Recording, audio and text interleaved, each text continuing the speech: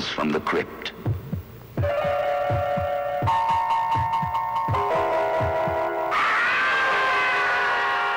Death lives.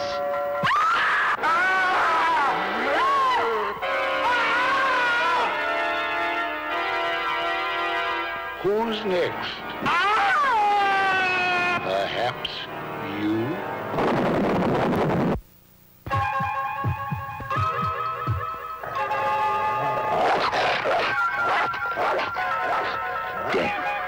lives in Tales from the Crypt.